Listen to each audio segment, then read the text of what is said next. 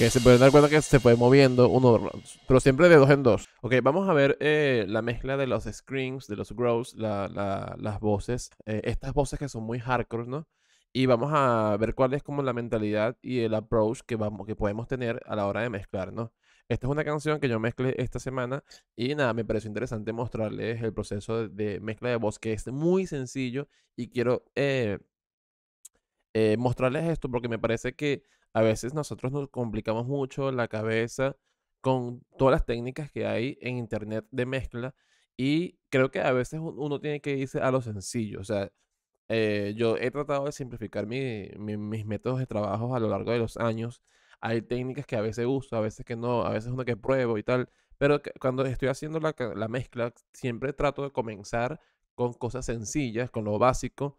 Y luego cuando ya, y como pensar en la, digamos, en the big picture, en toda la, en toda la mezcla en, completa, como un todo. Y eh, luego si veo que capaz necesita algo, empiezo capaz de empezar a probar estas técnicas que hay por YouTube y, estas cosas locas.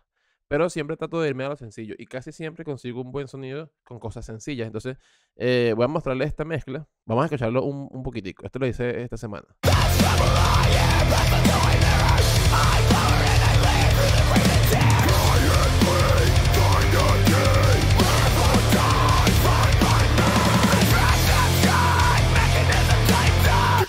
Entonces, ¿cuál es la, intención de una eh, voz como esta? Es que sea agresiva, que tenga mucho, que sea agresiva, así de sencillo. Entonces, eso es lo que tenemos que buscar a la hora de, de mezclarlo. Entonces, si ustedes se dan cuenta, miren aquí, esta es mi voz principal eh, y no tiene, o sea, tiene cuatro plugins. Uno es un eh, channel, channel strip, que sencillo. Luego tiene un ecualizador sencillo. Luego tiene, eh, esto es un saturador para agregar fuzz y este, o tu, saturación de tubo o de, cinta o algo así. Y luego un 10. Eso es todo, o sea, literal no tengo más nada. Luego, obvio, tengo envíos, river y delay y ya. Y eso es lo que tienen todas las los tracks. Todos tienen lo mismo, es súper sencillo. O sea, no hay nada del otro mundo y se pueden dar cuenta que cumple con el objetivo que es que suene agresivo, ¿no? Entonces, eh, vamos a ir como desglosando poco, eh, poco a poco esto. Obviamente esto yo lo hago rápido, lo hice rápido porque yo tengo experiencia, ya yo sé a dónde voy, ya, ya sé cómo reaccionan las voces con los compresores y todo esto. Pero eh, cuando tú lo vayas a hacer y capaz no tienes, tanta no tienes tanta experiencia, lo que tienes que pensar es, es el approach, o sea, que, ¿cuál es el objetivo? Entonces el objetivo es ser agresivo. Entonces, una de las, digamos, técnicas, voy a, quitar esto, un momento, todo esto. Una de las eh, técnicas eh, que se puede usar para conseguir un sonido agresivo, obviamente, es la compresión. La compresión siempre eh, nos puede servir para eso. La compresión es un elemento muy importante a la hora de mezclar porque nos puede ayudar a que suene más suave, más agresivo, con más definición, con más cuerpo, más, más lleno, más glue. O sea, la compresión, dependiendo de cómo lo usemos, nos puede ayudar eh, eh, a, casi todo. O sea, a casi todo la compresión nos ayuda. Entonces es importante que aprendan a usar la compresión y que, y que la entiendan, porque eso es casi que el secreto para todo. Entonces, lo primero es que no tengan miedo de comprimir muchísimo. Eh, eso es algo que también, capaz cuando comienzan a estudiar, mucha gente les dice, no, que la sobrecompresión, no, que está sobrecomprimido. Y eso es una cosa que la verdad que no entiendo por qué dicen eso. Eh, no tengan miedo a comprimir. Si suena bien eh, con, muchísima compresión, déjenlo así. O sea, no tiene nada de malo. Eh, siempre, recuerden que siempre les digo que tienen que dejarse llevar por sus, por sus oídos. Entonces, esta voz solita, mira, así.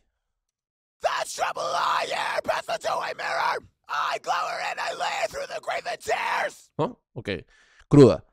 vamos a, a, poner el plugin y lo primero que tengo por aquí, vamos a quitar esto que son unas actualizaciones que tengo. Vamos a quitarla. Y aquí tengo la compresión. Entonces vamos a ver.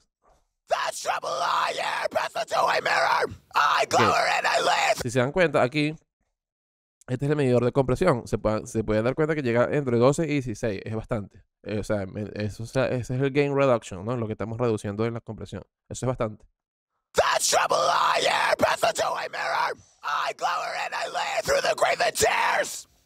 Ahora, si se dan cuenta, inmediatamente apenas yo eh, activo la compresión, ya empieza a sonar más agresivo. Y eso es lo que yo estoy buscando, que, suene agresivo. Así, o sea, ya, eso es todo.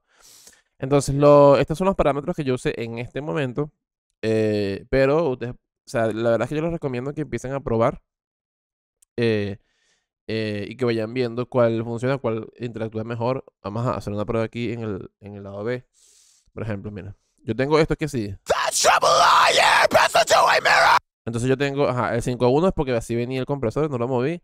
Y el release yo casi siempre uso súper rápido, pero a veces lo uso como por aquí, yo voy probando. Y el ataque nunca lo uso todo rápido y tampoco lo uso tan lento, lo uso también como por aquí. Yo voy probando más o menos. Entonces, lo primero que yo hago es ir moviendo el threshold hasta que yo veo que se va moviendo aquí. Una, una vez que, que veo que se está moviendo, entonces interactúo con el ataque y release a ver cómo afectan.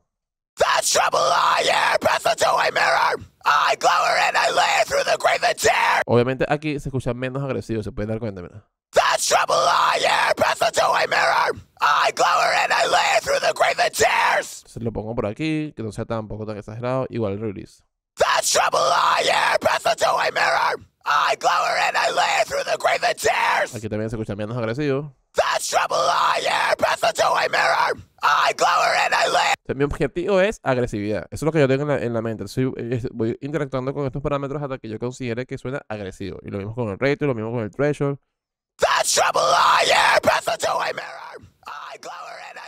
Aquí el threshold no lo bajo todo porque mira que deja de sonar agresivo. O sea, se escucha muy comprimido, muy para atrás, pero no tiene agresividad.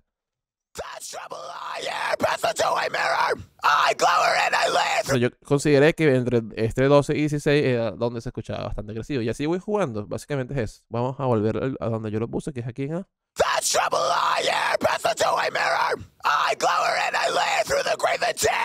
Ok, ahí eh, creo que ya, ya les he hablado bastantes veces que a veces que yo cuando estoy mezclando, que yo siempre voy al frente, voy probando voy- lo que me va gustando, voy comparando y tal. Y hay veces que me pasa que ha- hago como cosas contradictorias. Aquí creo que lo hice. Eh, aquí yo le agregué eh, un shelf a partir de 3300 y creo que más adelante luego lo, lo, lo reduje. Bueno, aquí no reduje exactamente 3000, pero sí reduje un poco. Y creo que más adelante aún en el bus, aquí, ah bueno, este, este olvidé quitarlo, voy a quitarlo. Eh, también lo redujo un poquito. O sea, no es tan contra- contradictorio, pero sí como que le agrego y le quito. Es porque voy avanzando y a veces como que le agrego aquí y luego más adelante me di cuenta que hay que quitarle porque la unión de todas las voces eh, como que es mucho, entonces le quito en el bus y así. Otra cosa también importante que yo hice aquí es que le puse a todos los canales este channel strip y le subí aquí el THD, Total Harmonic Distortion. Y esto es para que todos los canales tengan como un poquito de, de distorsión armónica para que como que simular un poco una consola análoga. Eh, ok, vamos a ver cómo... Aquí, la- aquí le apagué este ecualizador y seguramente va a sonar diferente.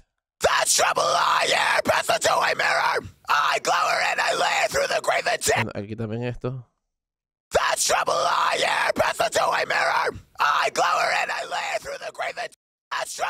Ok, Así, la voz sola, luego compresión. Luego limpié un poquito aquí el low pass. O sea, le, le quité hasta 60 porque la verdad es que eso no, no, no- no nos importa. Y luego aquí simplemente ecualización normal que yo fui buscando eh, de manera auditiva. Este ecualiza- estos ecualizadores así que no te muestran una gráfica a veces son buenos porque tú te dejas llevar más por los oídos que por lo que estás viendo.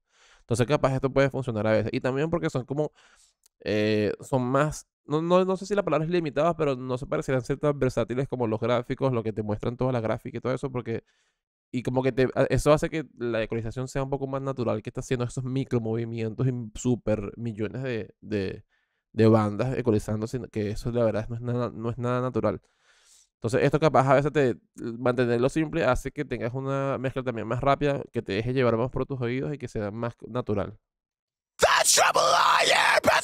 Aquí simplemente le reduje en 400, le reduje en... ¿Esto qué es? Se- 900. Sí, creo, si ustedes me siguen en mi canal, ustedes saben que yo casi siempre lo que hago es reducir re- eh, eh, en la ecualización bueno, y a veces le agrego. Aquí le agregué un poquito. Y bueno, aquí también le subí todo el THD, lo subí todo para que también tenga esta distorsión ahí. Perdón, mi teléfono. Ok, eh, luego esta ecualización es simplemente correctiva. Ah, bueno, aquí esto es compresión dinámica. Aquí estoy comprimiendo para cuando hace los, los grows, este, como bajar un poquito ahí la, la ecualización. Lo que pasa es que esta sesión me la mandaron como que mezclada. Y tampoco la, no quise ponerme a separarlo porque la verdad es que quería hacer rápido esta mezcla. Entonces en un mismo track tengo voces como esta.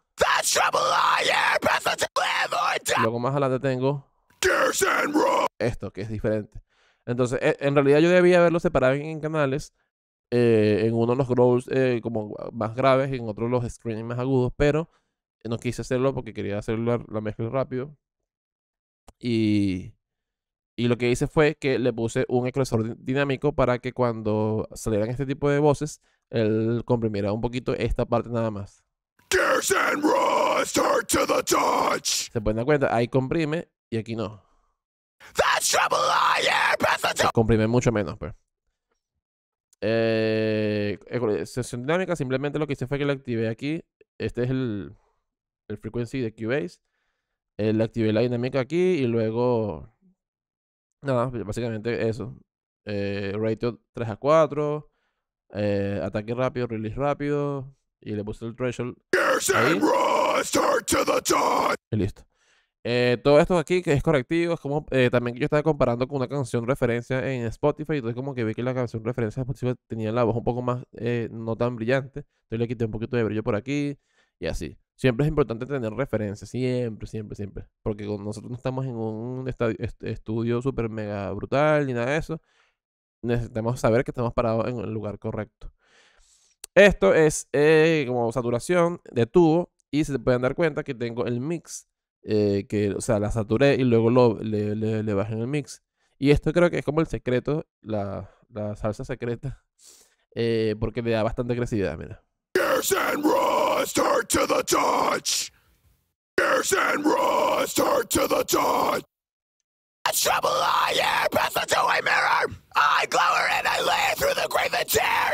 Entonces, es por bandas. Aquí las bandas las elegí yo. Las elegí yo.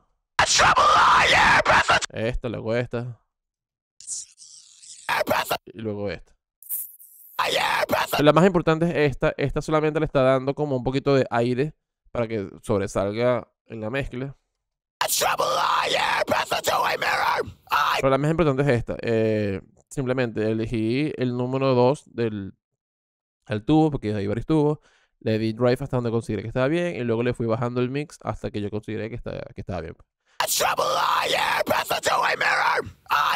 Y lo mismo con estas dos. Muy sencillo. Y luego un de-acer, sencillo.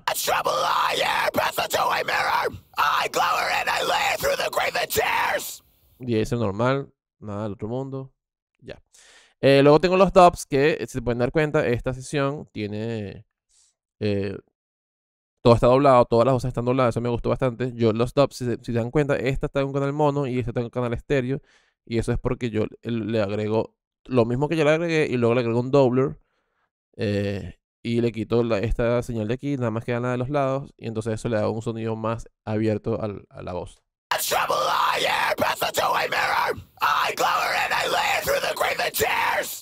O sea, es exactamente lo mismo, pero con un doubler. Eh, y si se, si se dan cuenta, tengo unos BCA. Ahora, ¿qué es un BCA? Un BCA es un es un fader que controla los faders de otros canales. O sea, eh, no se puede confundir con, con un grupo o con un, con un auxiliar. No, no es un auxiliar. No estás llevando el sonido a un, a un auxiliar, no estás ruteando nada. Simplemente estás controlando el fader del canal que tú quieras controlar. Espero que se pueda entender.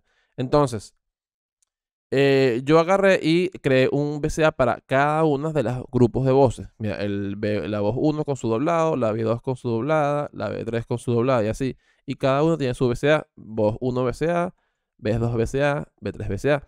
Y esto es porque yo tengo que bajar el volumen y, subirlo dependiendo de la parte, porque a veces es grave, a veces es agudo, a veces hay dos voces, a veces hay cuatro, a veces hay ocho. Entonces, eh, para no tener que automatizar uno por uno estos dos, yo lo que hago es que le pongo un BCA y luego cuando yo automatizo, estos se suben y se bajan estas dos en conjunto.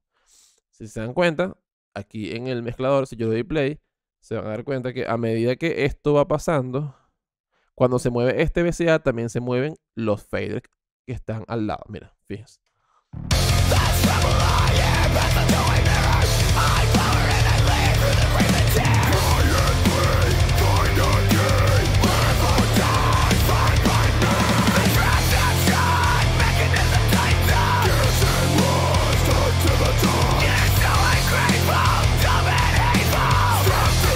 Se pueden dar cuenta que se fue moviendo uno, pero siempre de dos en dos. Entonces, ¿cómo hago para crear un VCA? Es fácil. Simplemente aquí en el mix, eh, en, la, en la ventana, en la ventana del mixer, eh, le das doble clic a las, seleccionas a los canales que quieres agregar al VCA, le das clic derecho y que dice agregar VCA a los canales seleccionados. Y ya él se crea un VCA y se rutea ese VCA para que controle los faders de esos canales que tú le estás diciendo. Súper sencillo, demasiado sencillo. Ok, eh, entonces luego tenemos el, eh, un delay, un river y un delay muy sencillos, muy sencillos. vamos a ponerlo por aquí. Este es un river que lo estoy mandando por, eh, por su envío normal. Y aquí estoy usando este que es un River eh, de stock de Cubase, súper sencillo. O sea, como te dije, esto es lo más sencillo que hay de pana, ¿sabes?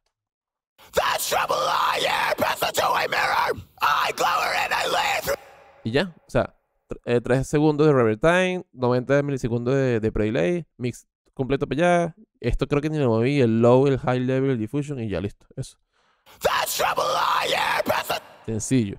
Y luego, eh, un delay, que el delay creo que también es muy sencillo para ver. Sí, también un ping-pong delay del mismo Cubase. Eh, siempre uso yo eh, con, eh, con, puntillos, casi siempre los uso. Aquí filtro un poco esto, que también siempre lo hago. Cierro un poquito el spatial para que no sea tan abierto y listo.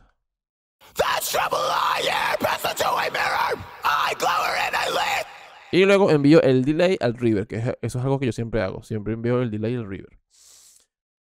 Eh, y le puse estos envíos de delay y river a las voces principales. A los, a los dos lados no le puse. Siempre también hago eso. Eh, y bueno, luego en el grupo de toda la voz eh, tengo otro ecualizador que simplemente también lo hice por lo mismo que ya te dije de de, de machear con la referencia que tenía. Estaba escuchando la referencia y dije, ah, no, mira, esto, esto tiene unas frecuencias molestas por aquí. Aquí me di cuenta que también había frecuencias que estaban como que saliendo en algunos momentos. Le puse un, una banda con ecualizador dinámico por ahí. Vamos a ver si podemos conseguir cuando interactúa con eso.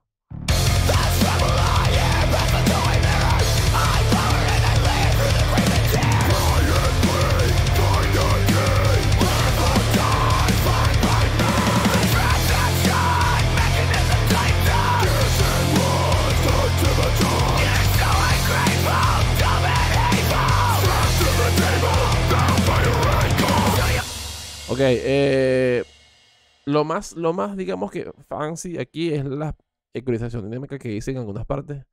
Pero más allá de eso, todo es simplemente compresión, ecualización, saturación, delay y reverb. Y ya. Eso es todo. O sea, eso es todo. No me diga que no tenga ni limitación, ni compresión paralela, ni saturación paralela, ni dividir la voz en bandas y puse high-low, no sé qué, ni nada de eso. O sea, eh, no hice nada eh, no hice nada, o sea, la, verdad es que está muy sencillo. Espero que les haya gustado el video, espero que les haya servido para algo esta, esta, esos, tips y esta manera de haber mezclado. Y nada, nos vemos en el próximo video. Recuerda que me puedes seguir en todas mis redes sociales, que las dejo abajo en la descripción.